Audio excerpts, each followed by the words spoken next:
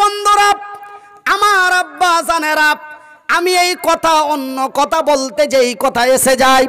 ভাই যান আল্লাহর নাবি, দয়ার নাবি, বিশ্বের নাবি, ওই বাড়ির লোকদের কাছে আনাই অন্যায়ের কথাগুলি বললেন। পবিত্রতা অর্জন করবে, তোমরা সুন্দর করে থাকবে। আল্লাহ তার রসুলের বিধি বিধানের কথাগুলি বলল। শুধু বললেন না, আল্লাহর নবী যখন ওই বাড়িটা থেকে বিদায় নিলেন, বিদায় নেওয়ার সময় আল্লাহর নবী, দয়ার নবী, বিশ্বর নবী তাদের কালেমার দিনের দাওয়াত দিলেন। আলহামদুলিল্লাহ বলেন। ভাই নবীর দাওয়াত তারা রিটার্ন করে দিলেন না। আল্লাহর নবীর দাওয়াত তারা কবুল করে, নবীর সাথে বায়াত করে, তারা কালেমায়ে শাহাদাত, কালেমায়ে তাইয়েবা পাঠ করে ইমান এনে মুসলমান হয়ে গেল। জোরে বলি আলহামদুলিল্লাহ। একই বাড়ির তিনজন, যে বাড়িটাতে ধুট যেই বাড়িটাতে নাবি প্রবেশ করলেন ওই বাড়ির তিনজন, সোমাইয়া আর সোমাইয়ার স্বামী আর সোমাইয়ার ছেলে। তারা তিনজন নবীর দিন কায়েম করে তারা ইমান এনে মুসলমান হয়ে গেল। খবর ভাইরাল হয়ে গেল। আর জানো গো, বলে কি হয়েছে? বলে এই বাড়িতে নবী মুহাম্মদ এসেছিল। নবী তাদের কি বলেছে না বলেছে? তারা ইমান এনে মুসলমান হয়ে গেছে। খবরটা সারা মানাই নগরে হয়ে গেল। মানাই নগর থেকে ইটাহার চলে গেল। রায়গঞ্জ পাড়ি দিয়ে, বাংলা পাড়ি দিয়ে শেষ খবরটা রাজ দরবারের নরেন্দ্র মোদী আবু জেহেলের কাছে চলে গেল। শেষ খবরটা ওখান পর্যন্ত পৌঁছে গেল। আবু জাহেল যখনই খবর পেয়েছে রাগে রাগনিত হয়ে চোখগুলি লাল লাল করে বলে, কে রে? কার এত বড় ক্ষমতা? আমার নেতৃত্বে নবীর দিন প্রতিষ্ঠিত করতে চায়। যাও সেনাপতি কামান্ডারেরা, যাও। সময়কে তুলে নিয়ে আসো। সময়কে তুলে নিয়ে আসো। সময়কে তুলে নিয়ে আসা হলো। রাজ দরবারে হাজির করা হলো। বলে, তোমার নাম কি সোমাইয়া? বলে হ্যাঁ আমার নাম সোমাইয়া। বলে, রে সুন্দরী, তুই কি জানিস না, আমার নেতৃত্বে কেউ যদি নাবির দিন কায়েম করতে চায়, তাকে কি সাজা যন্ত্রণা দেওয়া হয়? এটা কি তুই জানিস না? সোমাইয়া উত্তর দিয়ে ইমানের জোশ দিয়ে সোমাইয়া বলল, রে আল্লাহর দুশ্মন রে নবীর শত্রু, রে আল্লাহর দুশ্মন, রে নবীর শত্রু। আবু জেহেল শোনালে মক্কার মাটিতে যত সাজা দণ্ড আছে, সমস্ত যদি আমি সোমাইয়াকে দিয়ে দেওয়া হয়, সব শাস্তি মানতে পারি, কিন্তু আল্লাহর বিধান ছাড়তে পারি না। আরও জোরে বলি, একটু মহাব্বত দিয়ে বলি এই কথা যখন সোমাইয়া বলে দিল, মারে বনগ, এইবার আবু জেহেলের অর্ডার হয়ে গেল।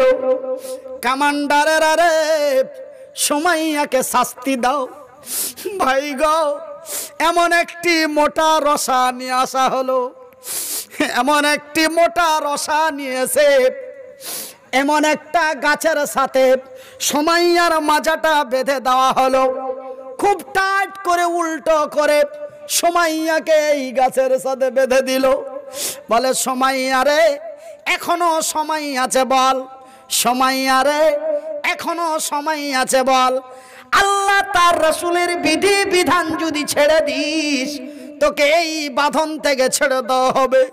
সোমাইয়া বলে রে, আবু জেহেলের সেনাপতি কামান্ডারেরা নবীর শত্রুরা, আমাকে যদি জীবন থেকে হত্যা করে দেওয়া হয়, পৃথিবী থেকে বিদায় নিতে পারি, দুনিয়া থেকে চলে যেতে পারি, কিন্তু ইমান হারিয়ে দিতে পারি না।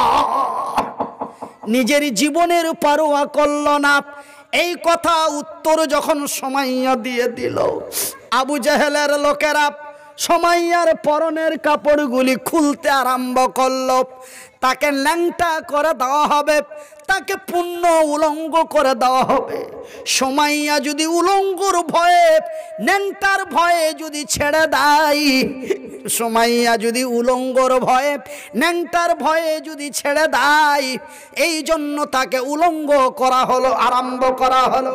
সময়য়ার পরনের কাপড়গুলি যখন একটা একটা করে খোলা হয় সময়া আকুলি বিকুলি করে বলে, রে আল্লাহর দুশ্মনেরা, রে আবু জেহেলের লোকেরা, রে নবীর শত্রুরা আমি তোমাদের বোনের মতো এক বোন রে। আমি তোমাদের মায়ের মতো এক মা রে। আমি এক সন্তানের মা রে। আমার সতীত্ব নষ্ট করো না। আমার ইজ্জতের বেজ্জতি করো না। রে আল্লাহর দুশ্মনেরা, রে নবীর শত্রুরা, হাতে দরিয়ে বলি, হপায়ে জড়িয়ে বলি, আমার সতীত্ব নষ্ট করো না। এত অনাই বিনয় করল। তাদের জানে দয়া হলো না। তাদের জানে মায়া হলো না। সময় আর পরনে যত কাপড় ছিল রে, এক এক করে সমস্ত কাপড়গুলি খুলে দিয়ে সময়য়াকে পূর্ণ উলঙ্গ করে দিল। কাপড়গুলি দূরের দিকে চালিয়ে দিল। সময়য়া তার ইজ্জত সতীত্বর ভয়ে। তার সতীত্বর হেফাজত করার জন্য কিছুই পায় না। কেন কাপড়গুলি দূরের দিকে চালিয়ে দিয়েছে? কাছের সাথে বাঁধানো আছে। সময়য়া আকলি বিকলি করে তারা হাতের মুজো দুটো দিয়ে তার লজ্জা স্থানে হাত দিয়ে, বুকটাকে চেপে ধরে গুপ্তঙ্গতে হাত দিয়ে বিনীত অনুরোধ করে বলে, রে আমার সতীত্ব অনষ্ট করো না, আমার ইজ্জতের বেজ্জতি করো না। আমার কাপড় চুপড়গুলি দাও, আমার কাপড় চুপড়গুলি দাও। উত্তর দিয়ে বলে, সময় নতুন নতুন কাপড় দিব, সুন্দরী রমণী করে সাজিয়ে দিব, সুন্দর সুন্দর কাপড় দিব, সুন্দরী রমণী করে সাজিয়ে দেব। কিন্তু একবার বল রে, আমি নবীর দিন মানি না। একবার বল রে, আল্লাহ বিশ্বাস করি না। সময়য়া উত্তর দিয়ে বলে আল্লাহর দুশ্মনেরা রে নবীর শত্রুরা, রে আবু জাহেলের লোকেরা, মরতে পারি রে, জীবন দিতে পারি রে, কিন্তু ইমান হারাইতে পারি না। মা গো তুমি কেমন আল্লাহর বান্দি? তুমিও তো একজন সুন্দরী মহিলা, রাস্তার টিবেলের রাস্তার ধারে টিবেলে একাই গোসল করো। হাজারো পুরুষ রাস্তা দিয়ে যায়।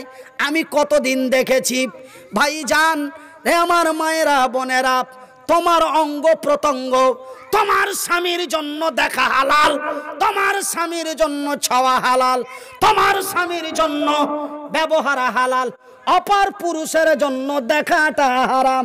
তুমি এক সুন্দরী রমণী, আল্লাহ তোমার সুরত জৈবন দিয়েছে, তোমাকে রূপ দিয়েছে, রূপের বড়াই করো না, তোমার সুন্দর্য দিয়েছে, তুমি রাস্তার ধারে টিবলে একাই গোসল অর্ধ উলঙ্গ হয়ে করো না। বেশি বিশেষ করে বাঙ্গাল মেয়েদের মধ্যে দেখতে পাই।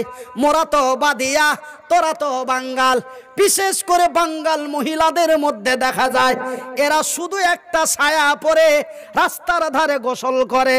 বাপের মতো বাপ রাস্তা দিয়ে যায়, ফিরে ফিরে ঘুরে তাকায়। বেটার মতো বেটা রাস্তা দিয়ে যায়, ফিরে ফিরে ঘুরে তাকায়। মারে কাল কেমতের দিন তোর ওই সৌন্দর্য চেহারায় আমার আল্লাহ কি আজাবের আগুন দিয়ে জ্বালাবে? তুই জানিস না, কোনো আলেম কি তোরে বলে নাই? সোমাইয়া বলে দিল, সোমাইয়া তার ইমান হারালো না। সব খুলে ফেলে দিল। অথচ সময়য়া তার হাতের মুজো দিয়ে তার ইজ্জতের হেফাজত করল।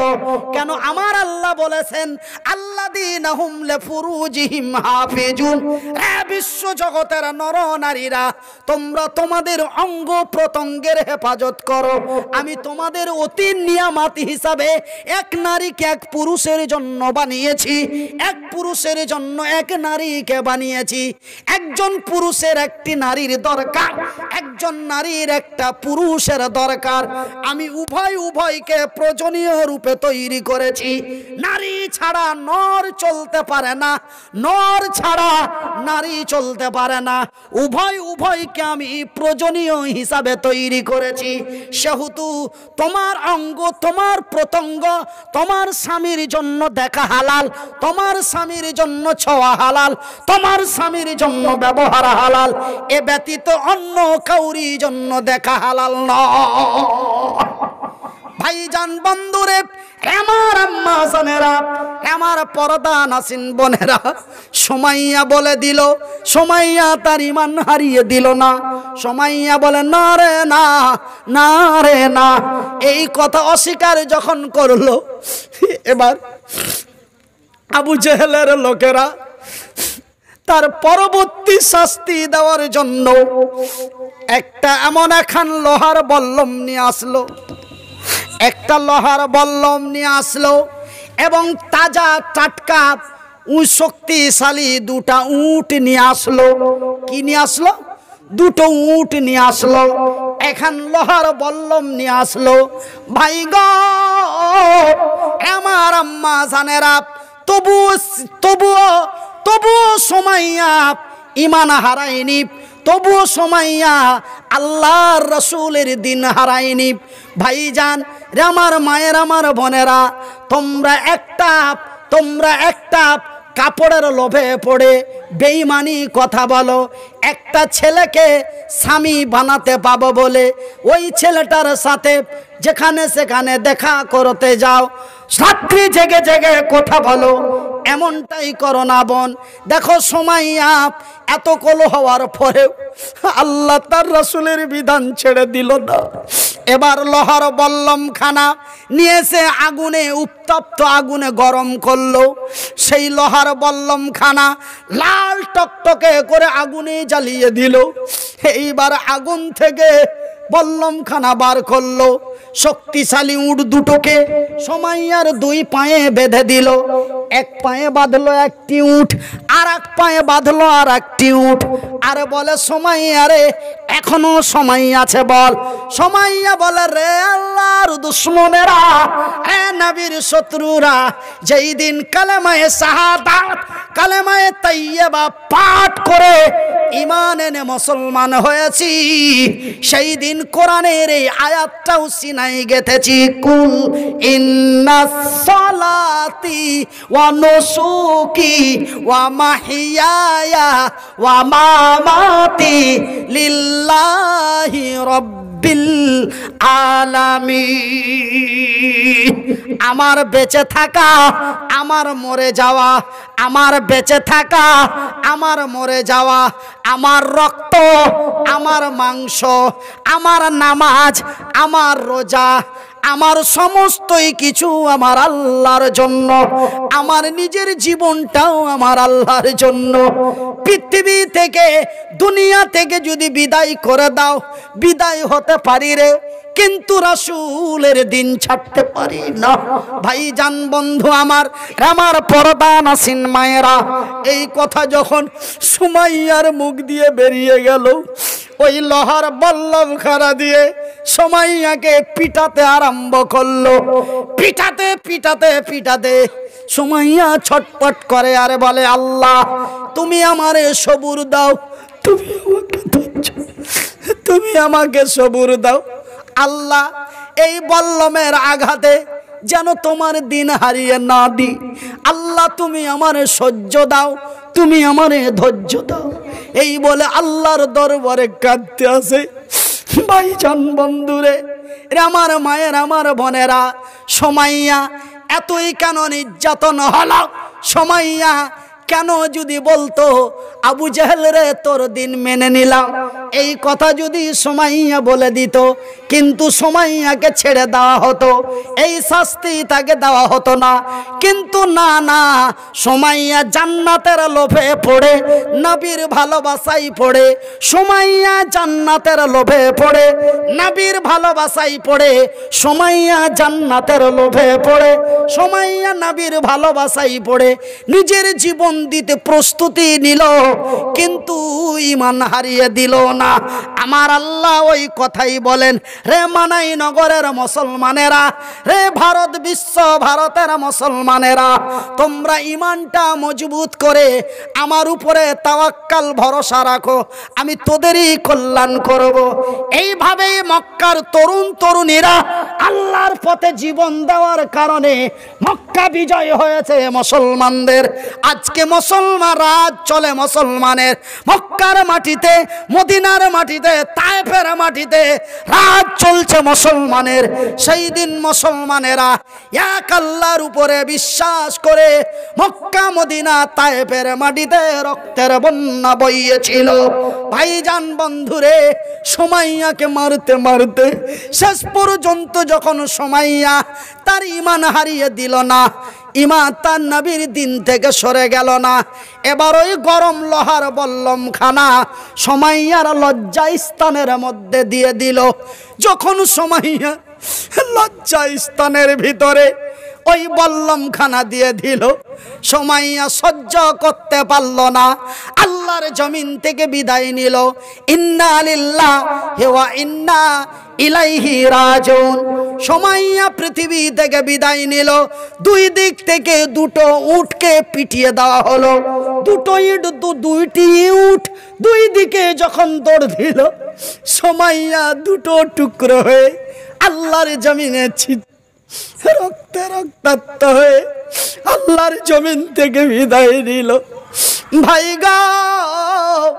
আমার আল্লাহ রব্বুল আলামিন বলেন রে মানাই নগরের মুসলমানেরা রে মানাই নগরের ইটাহার, বিশ্ব ভারতের লোকেরা রে বিশ্ব জগতের লোকেরা, তোমরা শুনলে সোমাইয়া মরে গেছে, তোমরা দেখেছ সোমাইয়া মরে গেছে, তোমরা শুনলে সময়য়া মরে গেছে, তোমরা দেখলে সময়য়া মরে গেছে, কিন্তু আমি আল্লাহ বলি রে আমার সময়য়া মরেনি, আমার সময়য়া তোদের কাছে মৃত্যু, আমার সময়য়া তোদের কাছে মৃত্যু, কিন্তু আমার নিকটে জিন্দা। বিসমিল্লাহির রহমানির রহিম। আল্লাহ কি বাংলা কথা কহে? আল্লাহ তার ভাষা দিয়ে বলছে যে, সোমাইয়া মরেনি, সোমাইয়া জিন্দা। ওয়ালা তাকুলু লিমান ইখতালু ফি সাবিলিল্লাহ। ফি সাবিলিল্লাহি আমওয়াত, বাল আহইয়াউ ওয়ালাকিন লা তাশউরুন। যারা অন্যায়ের প্রতিবাদ করে ন্যায়ের প্রতিষ্ঠিত করতে যে যারা পরদার সহিত, যারা পরদার সহিত নিজের ইজ্জতের হেফাজত করে, স্বামীর সাথে নেক ব্যবহার করে, আল্লাহর জমিনে চলবে, রমজানের রোজাটি ঠিকভাবে করবে, সে অসুবিধা ছাড়া যেন অন্য এমনিতে এমনি কষ্ট হচ্ছে বলে রোজা ছেড়ে দিল না। আল আমারও তার রসু আমার এবং আমার রসুলের বিধি বিধান মেনে, যারা আমার জমিন থেকে বিদায় নাই, আমি আল্লাহ তাদেরকে আমার বিনা হিসাবে জান্নাত দিয়ে দি। ভাই যারা অন্যায়ের প্রতিবাদ করতে যে সত্যের কথা বলতে যে আজকে আমি মনির উদ্দিন আজকে আমি মনির উদ্দিন আমি মাস্ক লাগাতে মানা করি নাই, আমি সরকার বিরোধিতা কথা বলি নাই, আমি বলতে চেয়েছি অগ আমার ভারতবাসী, রে আমার আমার কেন্দ্রীয় সরকার, ওগো আমার রাজ্যের সরকার, আমি বলব, যেখান থেকে অসুখ তৈরি হয়, সেই জায়গাগুলি আগে পরিষ্কার করতে বলুন।